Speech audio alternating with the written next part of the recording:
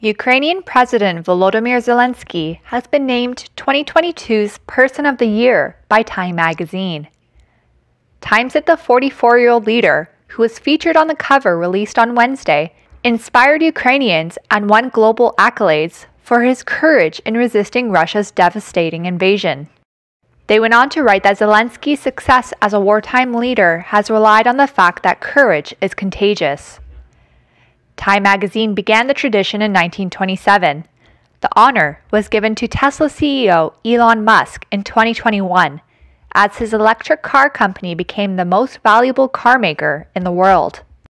This year, other highlights include Korean pop group Blackpink as Time's Entertainers of the Year. Michelle Yeoh, a Malaysian actress who starred in Everything Everywhere All at Once, was named Time's Icon of the Year.